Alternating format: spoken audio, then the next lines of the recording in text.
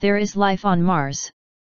Evidence that it harbors life and has for eons was discovered by Andrew D. Basiago in 2008 when he found evidence of small humanoid beings, animal species, carved statues, built structures, and dead bodies.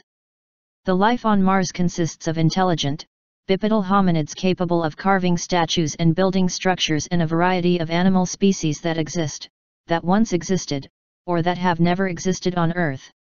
Images from the Mars Curiosity rover have been digitally altered by NASA but if you analyze the images very carefully you can find evidence that life forms on Mars still exist but it has evolved in a very different way and is not comparable to species on Earth as we know it. Next a small selection of strange looking animals. Please find NASA links below this video.